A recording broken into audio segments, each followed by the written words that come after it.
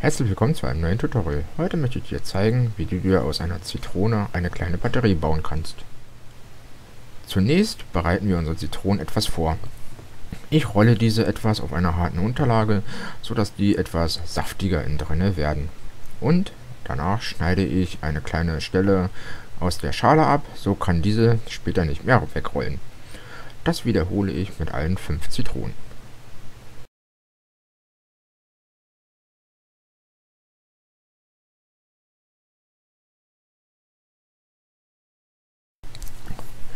Im nächsten Schritt wollen wir nun unsere Nägel polieren. Ich habe hier 5 Zinknägel, 5 Kupfernägel und zur größten Not noch 5 größere Zinknägel. Die packe ich beiseite erstmal. Und ein Schleifpad, dieses erhältst du zum Beispiel im Baumarkt oder beim Gaswasserinstallator zum Beispiel.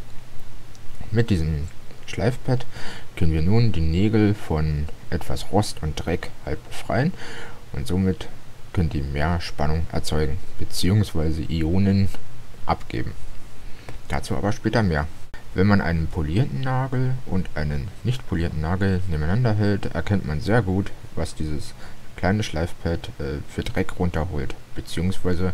für eine Oxidationsschicht löst. Bestücken wir zunächst eine Zitrone mit einem Kupfer und einem Zinknagel.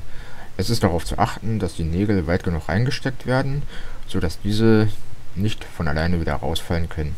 Daher habe ich besonders lange Nägel gewählt. Wollen wir also nun die Spannung in dieser Zitrone messen. Wir müssen erstmal definieren, was Plus- und Minuspol ist. Da Kupfer das edlere Metall ist und somit seine Elektronen abgibt an das unedlere Metall Zink, bildet Kupfer den Pluspol und Zink den Minuspol. Mit meinem Messgerät messe ich also nun knapp 1 Volt bei einer Zitrone. Bestücken wir also nun die restlichen Zitronen mit den Nägeln, um ein paar weitere Experimente durchzuführen. Zuerst hatten wir eine Zitrone gemessen mit 1 Volt, also knapp 1 Volt. Nun schalten wir unsere 5 Zitronen in Reihe. Das heißt, wir verbinden jeweils einen Zinknagel mit einem Kupfernagel und dann wieder den Zinknagel mit dem Kupfernagel und so weiter. Und wir erhalten dann unsere Reihenschaltung, wobei sich dann die Spannung in diesem Falle irgendwie ja verfünffachen sollte. Da wir hier mit Naturprodukten arbeiten und jede Zitrone ja doch irgendwie anders aufgebaut sein wird, erreichen wir natürlich nicht immer den gleichen Wert pro Zitrone. Das heißt, wenn wir jetzt unsere 5 Zitronen in Reihe geschaltet haben, erhalten wir knapp 5 Volt, genau gesagt 4,87 Volt. Zunächst wollen wir eine kleine gelbe LED anschließen. Die gelbe LED hat eine maximale Betriebsspannung von 2,5 Volt und einen Betriebsstrom von 20 mA.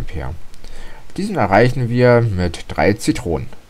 Jedoch kann die LED ihre volle Leuchtkraft nicht entfalten. Unten links siehst du die gleiche LED im LED-Tester. Als nächstes wollen wir nun eine kleine blaue LED verwenden. Die blaue LED hat eine Betriebsspannung von 4,5 Volt. Wir benötigen also vier Zitronen dafür. Man sieht ganz gut, dass die, auch die blaue LED nicht so hell leuchtet wie das Original im LED-Tester. Wollen wir nun einmal eine Alternative probieren zu den Kupfernägeln und Zinknägeln. Ich verwende hier einfache Unterlegscheiben, die es für knapp 22 Cent im Baumarkt gibt und ein 5 Cent Stück. Nachdem ich also den Kupfernagel und den Zinknagel entfernt habe, schneide ich mit einem scharfen Messer einen Schlitz in die Zitrone, um dann jeweils eine Unterlegscheibe und eine 5 Cent Münze hineinzustecken. Das mache ich auch mit einer zweiten Zitrone.